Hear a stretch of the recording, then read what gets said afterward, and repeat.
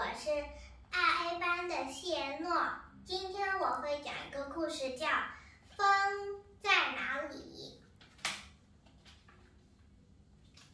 美术课上，老师对同学们说：“我们今天要画风。”同学们一开始都摇摇头，说：“风是画不出来的。”老师问：“你们想，风和什么有关呢？”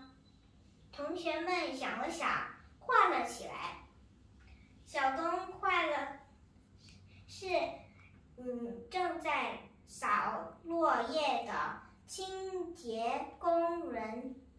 小美画的是风吹的花草和草草地上。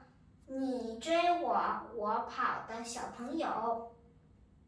小丽画的是蓝天、白云，还有迎风飘的国旗。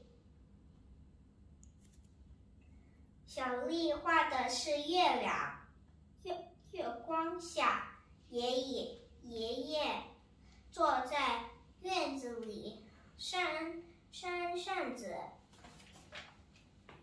小光看看窗外红红的太阳，有看看课室里的电风扇，有了。